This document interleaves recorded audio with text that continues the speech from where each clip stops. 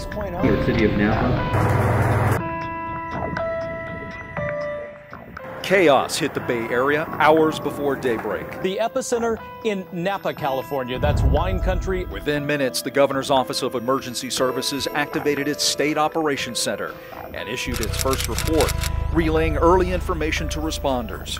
Mark Ghilarducci took the lead and got in front of the camera for a quick announcement. A lot of what's happening in the State Operations Center now is we're working with the local governments, getting assessments of the total amount of damage uh, being able, we're coordinating the response of uh, fire and rescue and EMS resources into the area, law enforcement to be able to support Napa, Solano, Vallejo, uh, and Sonoma counties. By sunup, the extent of damage was becoming more apparent. Probably the most significant damage we've seen is in the downtown uh, portion of the city of Napa. The earthquake's force shook buildings until their brick facades crumbled to the ground or the structures collapsed. Homes rocked and rumbled from their foundations. Upper floors fell onto lower floors, while other homes caught fire and burned to the ground. Lost uh, three on this side and another one over here. Roads split and water mains broke. By mid morning, the state was coordinating a full blown emergency response. All state agencies are uh, activated and are operating here in the State Operations Center or in the field. All of the local and state uh, uh, coordination centers are operational and coordinating with each other uh, so that we can provide rapid uh, assistance where necessary.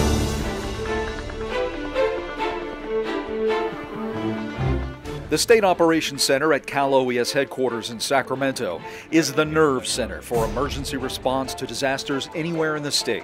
We have people out there and they're letting us know what they're seeing and what needs the state might be able to address, and that's what this whole team of people is here to do. This large team of people is known collectively as the Incident Support Team, or IST.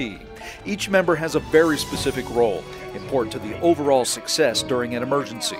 Uh, this may be of importance to utilities. New information pours in all day and all night, so there's a rotating 12 hour shift. Response is about gathering all information about the situation, boiling it down, and prioritizing needs. Every new bit of info is detailed in a centralized database and verified. During the facility, the skilled nursing facility that was on generator power, is that still on generator power, has that issue been resolved? We've heard that it has been resolved, but I want to go through and make sure that we're not getting conflicting information. But as far as I know, that, that, that has been resolved. Okay, thank you.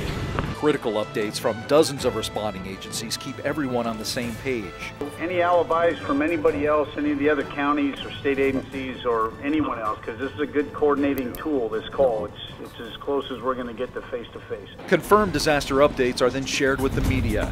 While Director Ghilarducci answers questions for a local television news station, Deputy Director Tina Curry finds a moment to talk live on the air with an Arizona radio station.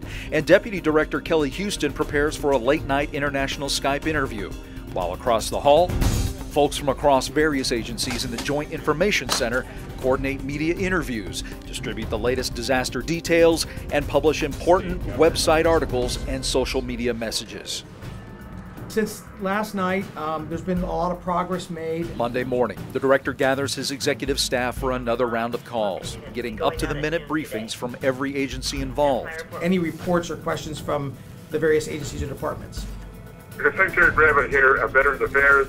Uh, the, the engineers are on the ground at, at the Veterans Home in Yountville as we speak. At Napa, we have two buildings. They're administrative buildings that were red tagged. 24 hours into the emergency, the State Operations Center is running at full speed, with more than 100 people working in synchronicity. And luckily, the damage sustained in Napa, Sonoma, and Vallejo doesn't seem as bad as officials had first feared. We're moving rapidly into what we call recovery mode.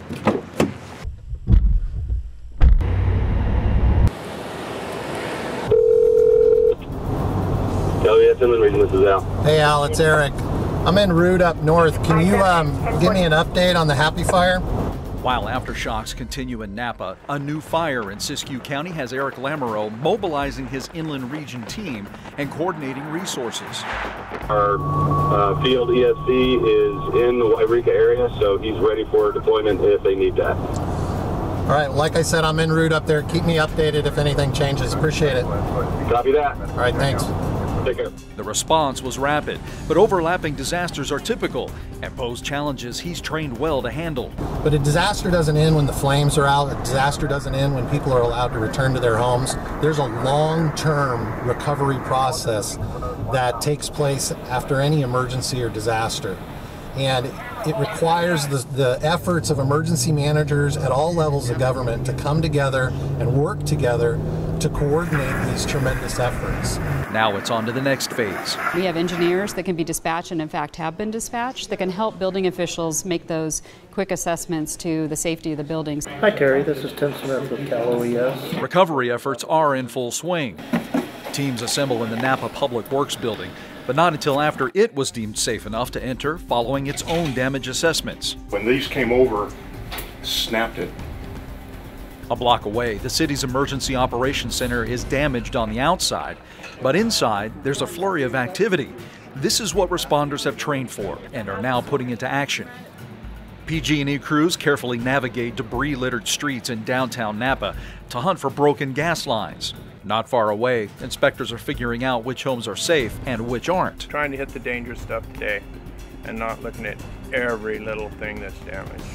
Those that aren't safe are issued a red placard, which is then posted on the building. So far, more than 116 homes and businesses have been deemed unsafe to enter. Response to and recovery from an emergency like the Napa earthquake is a massive undertaking that demands dedicated professionals who can work in top form both as an individual and as part of a team.